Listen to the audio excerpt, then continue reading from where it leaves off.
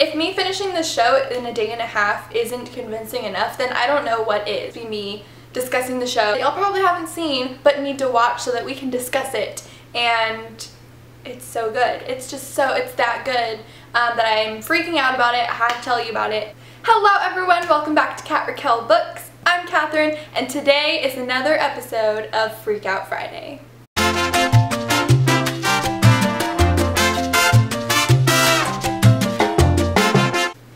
Week I, okay so I'm actually filming this on Monday for Friday so you will see this on Friday. Anyway, so I'm filming this because Last night, well, okay, Sunday night I started watching um, this show called Bitten on Netflix. And if you have seen it or heard of it, if you've seen it, you know what I'm talking about if you like that kind of thing. But if you haven't seen it, um, or maybe you've just, you know, come across the title on Netflix. And I, it, I believe it comes out on the Syfy Channel. If you've just come across it and you've never seen it, watch it because it is freaking amazing. So this TV show actually relates to books. This show is based on the Women of the Otherworld series by Kelley Armstrong, who also wrote the two YA trilogies uh, the Darkest Powers trilogy and the Darkest the Darkness Rising trilogy, which I dearly love. Know that it was based on that, but then when I found out about it, I knew I had to watch it. Bitten is about werewolves, if you couldn't tell already by the title. Most of the time, werewolves are usually both men and women, but in this series, no woman has ever survived the change. And that is where Elena Michaels comes in. Elena Michaels is the only female werewolf in existence. All Elena wants is to live a normal life in Toronto and has for four years until the alpha pack leader Jeremy calls her and tells her that there's a rogue werewolf on the loose that is um, murdering people and calls her for her help. They're basically werewolves that have gone rogue and if you don't know what that means it basically means that they don't follow the rules so in this show they're actually called mutts uh, which I thought that was pretty cool I guess. I mean I've never heard a werewolf called a mutt Knowing that she is the best tracker, she decides to venture out to Stonehaven House one last time. She hasn't been around there for four years, she hasn't been around the pack members or anyone, well except for one who also lives in Toronto trying to live a normal life. Um, but she ventures out there and says, okay, you know, I'll help out, just only because Jeremy called. Jeremy's basically like a father figure to her. Elena thinks that once the work is done, she will go back to her normal life, never have to show up there again, life with her wonderful, loving, normal boyfriend. But that is not the case. Unfortunately, a life of normalcy is nowhere in her near future. Okay, so that was the formal, I guess, uh, synopsis of the show. And let me just tell you, I can't even. Okay, so um, No idea what Bitten was about except that it was about werewolves, obviously. Um, and so I just came across it on Netflix. I thought, you know, well, what the heck, I'm not doing anything. I'm laying here in bed just watching Gossip Girl. I came across it. I was like, you know what, let me see what this show is about. Okay, well, little did I know that it was for mature audiences, which means it's, it's an adult show, kind of like True Blood, I guess. There is a lot of nudity in it um, and adult scenes, but I think that it's okay if you skip over it. Like if you're mature about it, I guess, um, if you don't mind. I would think that if you're mature enough, because um, I'm, I mean, I'm, I guess I'm mature with that kind of thing. I mean, I just skip over it and it's, you know, whatever. If you're uncomfortable watching that kind of thing, I mean, I don't watch it. Like I said, I skip over it. But if you're uncomfortable watching something like that, then I would suggest not watching it.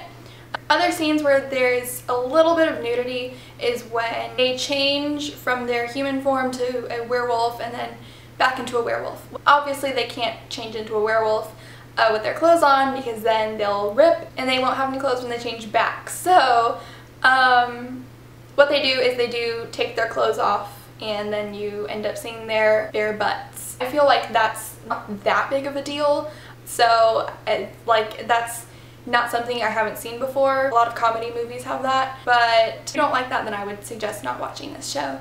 So I did not know that and first scene an adult scene and I was like, oh, okay, um, did not see that coming. I'm gonna turn this off. I was like, you know what, no, let me just see what this is all about. So cool, and I was like, no, you know what, I can skip over those parts, whatever, let's just go for it. I'm so glad I watched the show. I watched four episodes uh, Sunday night and then I binge watched, if you saw my tweet this morning, I tweeted at like 6 in the morning, which is another reason that I look like this. Um, yeah, I don't know what my hair is doing back there. I have been in bed all day because I stayed up all night long from 9.30 at night to 6.30 in the morning. I finished the first season of Bitten.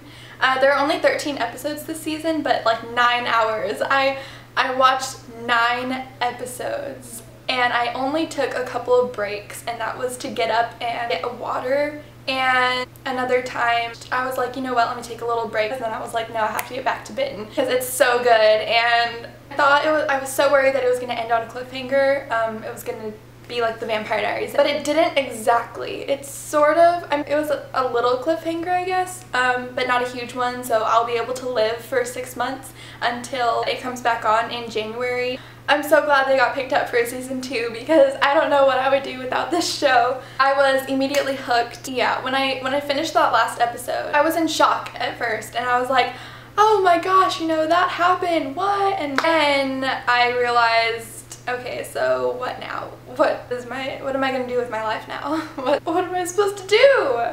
So let's talk about the plot now. The plot is incredible. The acting is, I would say the acting is really good. Um, the guys are not bad looking. This show is definitely not lacking in the action department. It is so action-packed, action, action, action, especially in those last few episodes, I would say. And there's even romance, of course, because what's a show without romance? If me finishing this show in a day and a half isn't convincing enough, then I don't know what is, because this show is so good. It's so amazing. I'm so, like, immersed in it now and I don't even know what to do anymore because it's over. So yeah, like I said, uh, by the time you're watching this, like four days since I've finished it, I finished this Monday. I was going to put spoilers in this, um, just, you know, talking about my thoughts on the show. I think I'll do that. I'll save that for another video just because this one will probably be a little long already and I don't want it to be a 10 minute video, um, especially when probably more than half of it will just be me discussing the show y'all probably haven't seen but need to watch so that we can discuss it and it's so good. It's just so, it's that good um, that I'm freaking out about it. I have to tell you about it. And I will probably rewatch the season, uh, not now, but probably later on. Um, but yeah, it's definitely uh, rewatch worthy, if that makes sense. That's basically it for this episode of Freak Out Friday. Let me know in the comments down below if you've seen Bitten. If you have, please, I need to discuss it. Um, and also, if you haven't seen it, watch it so that we can discuss it. That's pretty much it, like I said. I hope y'all have an amazing weekend, and I will talk to you in my next video. Bye!